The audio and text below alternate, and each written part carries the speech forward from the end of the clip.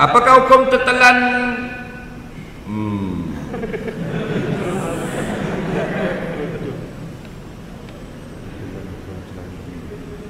Makanan ni Kamu, tahu mana makanan? Mana mu tulis hidup gini kau? Dia tengah-tengah Tengah-tengah semayang Tertelan makanan celah gigi Sah atau tidak salat itu? Dengar baik-baik.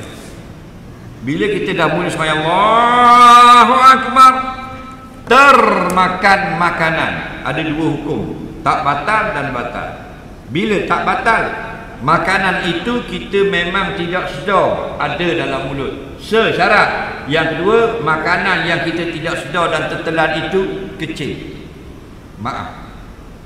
Nek? Ha, ingat eh?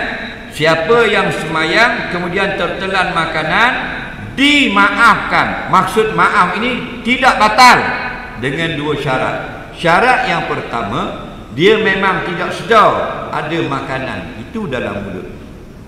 Yang kedua, makanan itu kecil. Macam benda celah gigi halus. Tengah-tengah baca Fatihah, raya mulut. Faham lagi? Ha, itu dimaaf. Tetapi jikalau makanan yang kita tidak sengaja tertelan itu besar, tidak dimaaf.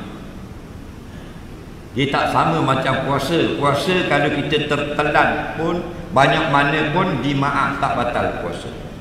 Kalau orang berpuasa memang dia tidak sedar sedang berpuasa. Faham? Orang puasa dia termakan banyak tak batal. Syarat ada ter di depan. Nah, ha, hari pertama puasa dia terlupa. Laki bini makan nasi goreng, siap telur mata lembu. Bang, air tapping, tak? Waktu Milo tabur.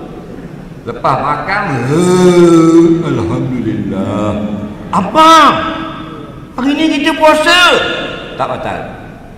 Kenapa? Dua-dua laki bini tidak sengaja, terlupa. Esok dua Ramadan nasi minyak pula. Ha lagi. Pun tak sengaja juga tak batal. Hari ketiga nasi kabu tak batal sampai 30 Ramadan tak batal. Tapi jaranglah nak jumpa pasangan begitu. Faham lagi? Tapi kalau semayang yang halus tidak disedar, maaf. Kalau besar tidak dimaaf walaupun terlupa.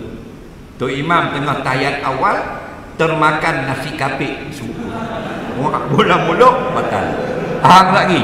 Kerana benda besar nadir. An-nadiru la yuhakkamu bi. Benda nadir itu tidak dijadikan hukum. Soalan seterusnya